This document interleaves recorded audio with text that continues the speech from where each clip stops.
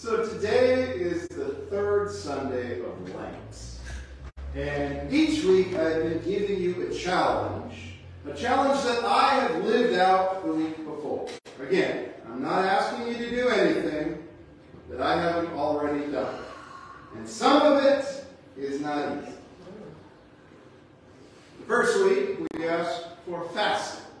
It's uh, two hours, perhaps in between meals. If I mean, get your coffee in the morning and don't eat till dinner. Some of you say, oh, nope, I'm going to eat in the morning. This is not one of those situations where nothing is forced. But the purpose was if you feel hungry, you walk by and you normally snag the candy dish. You normally, whatever, if you could feel the resistance from, say, okay, I'm not going to do this then if you're faithful in the little things, you will be faithful in the big things. So when sin comes along in your life, like, ah, no, I do. I was able to not do that, so I'm going to not do that. And then, last week, some of you probably went a little crazy.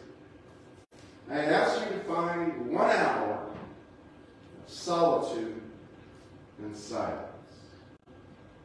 Now, some of you cannot find a single silent place. Get close. One of the things I was very aware of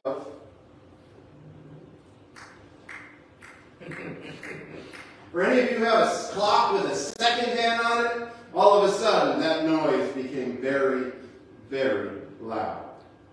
Batteries started coming out of clocks. Some of them I forgot to put back in. Needless to say, found one hour. Not easy. And some of your heads, like, I got 15 minutes, Pastor, that's all you get it. That's fine. The goal was to allow God to speak to you in your silence. And now, I issued the third challenge. The third challenge is, as we read in our opening scripture today, repentance repentance. Exactly is that? So, I'd like you to think for a moment of a massage. Has anybody ever had a massage? Right? Has anybody had just a little, somebody rubbed your back, patted you on the shoulder? There's a difference between a little get those little devices? It, it's got like all the little all those wires on it, and you can do that on your head, and it's like, oh, this is so good. Or, or you ever get those little things where you just kind of roll it out a little bit? Just, where you put it on your back and it just kind of moves around. So there's that type of massage. But there's also the Swedish massage. The deep tissue massage. They get on the elbows, pound the flesh. Oh my goodness, it hurts! Massage. But you'll also know that those are sometimes the ones you dread the most. But when you leave, you feel the best. Really getting down deep, working that out, all of a sudden, afterwards, feels pretty good. Now, some of you have had that hot stone stuff. Some of you have had acupressure, acupuncture. You have a variety of ways in which you have tried to get that one ache fixed. Repentance is similar to a deep tissue massage. We dread going to it, but after it's done, we enjoy it. What do I mean by that? I'm challenging you all to set aside 30 minutes. So notice we went from like six, five meals or five days to one hour, and now we're down to 30 minutes. Okay, so hopefully it's a little, little bit set there. And I want you to engage in the discipline of repentance. But I need us to make sure we understand a little bit more about repentance. Because repent comes with a lot of negative baggage. And uh, I have a few hunches as to why. But what I'm hoping this week is that you are not saddled with depression, but rather that we can all gain an appreciation for what the gift of God is and the opportunity of what repentance really is. I'm going to give you a different or a definition for two words. And I want to make sure we're clear on them. Confession. Confession is acknowledgement or agreement. When you confess, you state what is. I confess that I am in front of you. Oh, Are we in agreement with that? Okay. Confession is acknowledgement. And when we confess our sins, we acknowledge our sin. Sometimes that's as far as we can go. Hit the wall. I said it. That's good enough. But now I'd like to bring out repentance. And repentance is to think differently, or to literally turn the other direction. So it's one thing to acknowledge it, it's another thing to think differently about it. We can start to see there's a slight difference between confession and repentance. In fact, in uh, the Hebrew, where, we, where, uh, where they look at it, confession is never done out loud. You don't confess in front of other people, so you do not disrespect them. Do not saddle them with your baggage. Confession is something that you do to the Lord. As we read in 1 John, I confess with my mouth that Jesus is Lord, we shall be saved.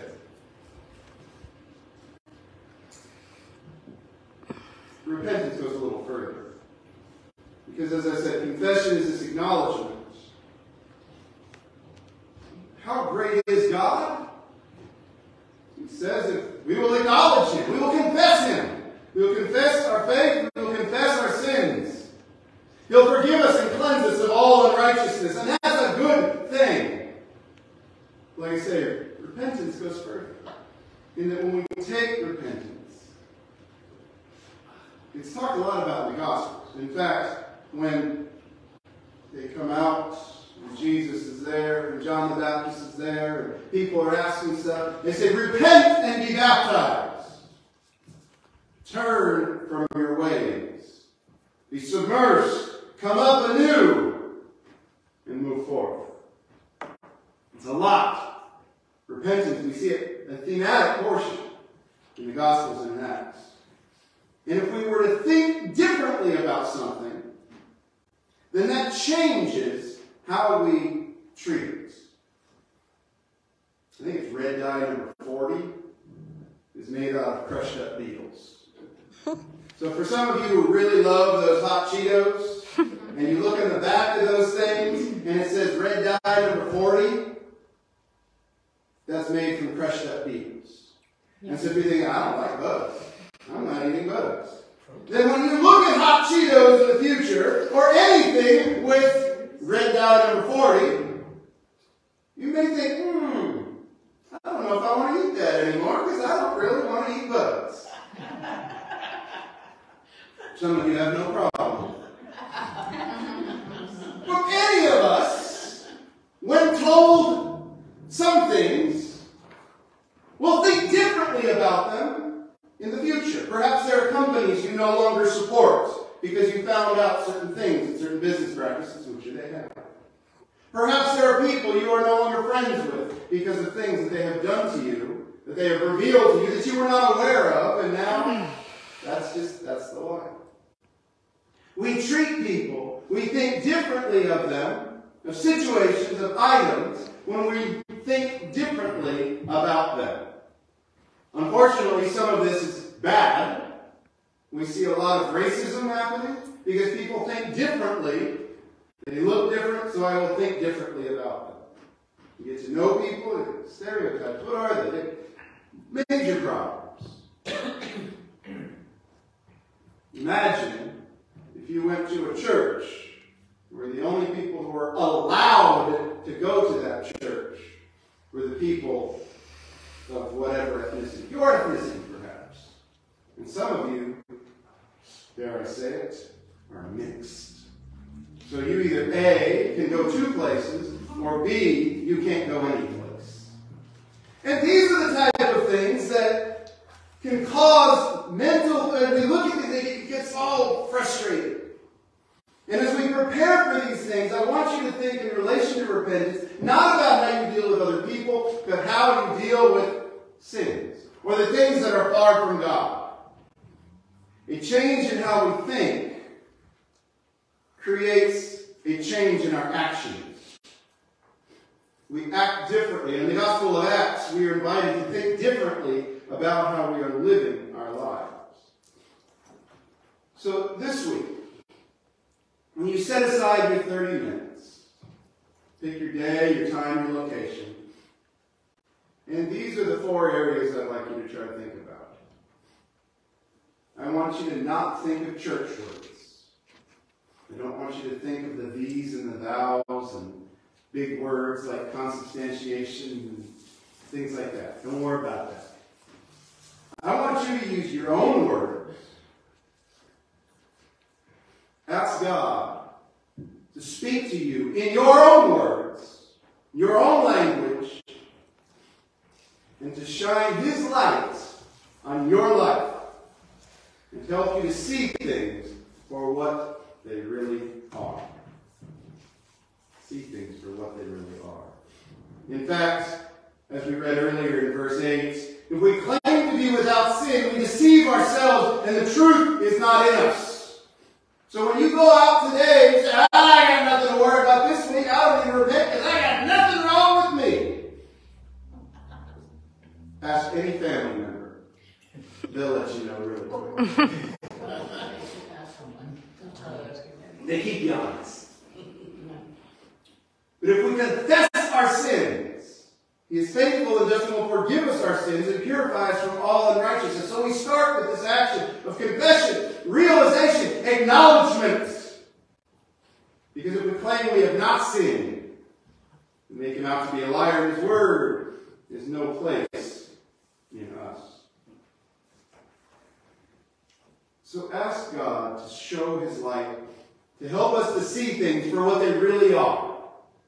If you have a life that's with wrapping paper and all pretty, but we open it and there's nasty stuff in there, not happy. I want you, if you need, if you want to take a note, that's fine, but if you're not sure what to read scripture-wise to prepare for this, I give you three sets.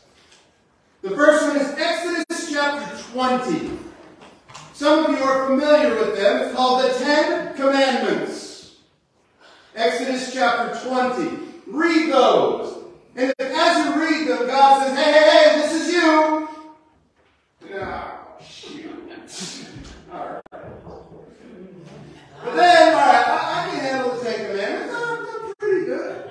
My parents have passed. I don't need to worry about honoring them. I show up on the Lord's Day. I do my thing. I don't murder people. I'm good. Then start looking at Galatians chapter 5, verses 16 through 26. This is the Holy Spirit versus the sinful nature. You will find as you look at your life, there will be things that will be revealed. This is of the Spirit, and this is of the flesh. As you read through Galatians chapter 5, verses 16 through 26, maybe the Spirit will convict you. Ah, Pastor, I've already got Exodus chapter 20. I've already got Galatians chapter 5. And I'm going to throw this one at you as a curveball. 1 Corinthians 13. Am I loving other people? Am I a loving person? And this is an easy way to find out if you're a loving person. Find out the person who is on the other side of you politically. like as far over as they can go.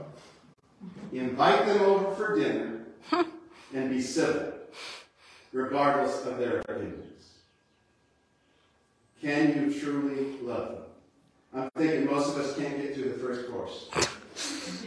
We're having cheeseburgers and that's it. Get out, of here. I can't stand you to talk.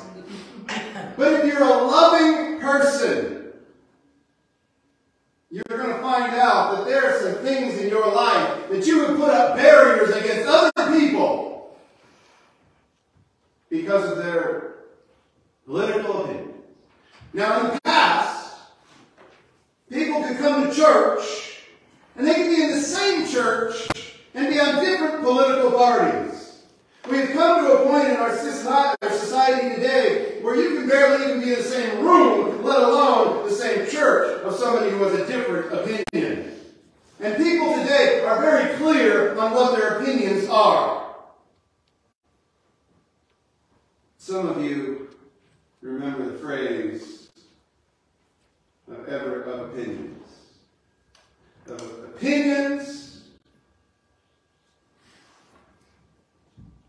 see how I politically say this. Good luck. I know. You know where I'm going with it. Passion. Opinions. Everyone has. I like behinds. How about that? Here we go. All right. I like beehives. Everyone has one, and they all stink. That's just where it'll go. You can, you can take it for where it is. But we all are entitled to our own opinion. But it's when we take our opinion and try to force it down someone else that that's where the problem is. And my encouragement to you is not when you go out to tell people about Jesus, about how they're going to hell, but rather tell people what Jesus has done for you and stop there. This is what Jesus has done for me. I love God because of this. I'm not going to try to, well, what about, I'm not going to defend anything. This is what Jesus has done for me. I pray that you find him, and that's as far as That's fine. Don't engage in bickering with people who are just trying to make you fall. So as you go through these verses, as you prepare yourself, come to the point of confession. You've got all kinds of thoughts right now as you've read through this. You've seen the verses. You're going, and you're like, oh my goodness, I got so many things on me.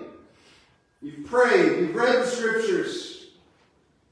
And if you're truly willing to be honest with God, then you will need to acknowledge and agree with God when various things are pointed out. And you're going to need to talk to Him about that.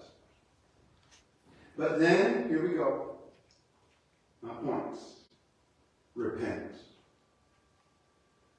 Are you willing to make the choice to think and act differently? Think about that.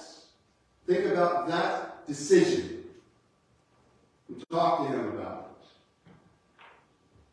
Perhaps if you journal, write it down. That's all. That's all I'm asking you to do. Talk to God. Acknowledge and repent. Maybe God's going to put 50 things on your mind and you feel so overwhelmed. Start with one. This is my closing point. When you repent, tell everybody else, forget you. God has forgiven me. I am not under bondage, and I am released. Because many of us are holding on to something. God can forgive everybody else except for me for that one thing that I did. But if you are willing to repent, if you are willing to confess, if you are willing to turn from your ways, God will heal. God will heal our land as a community, as a country, if we are, if we are willing to turn from our evil ways. Pray, repent, and turn, and God will bless you, and He will heal you. Do not allow anyone to condemn you. Do not allow anyone to hold something over you that God has forgiven you of. Because that's where we as Christians feel bad. And it's hard for us to tell other people what Jesus has done because we're always walking around with that rain cloud. Avalon, you've had the chance to be the baddest of all of us because you've been here the longest. but on the other side, you have had the chance to be the goodest, The best. That. the best, The best. because you have been here the longest. We're not here to compare ourselves to those who have been here longer. Our goal is to compare ourselves to the cross. And when Jesus died on the cross, he took all the sins of the world and he held, he held them in his hands.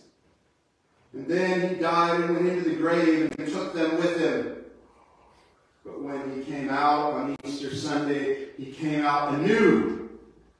He left that stuff behind. Just as we are baptized and we come up, you have been forgiven.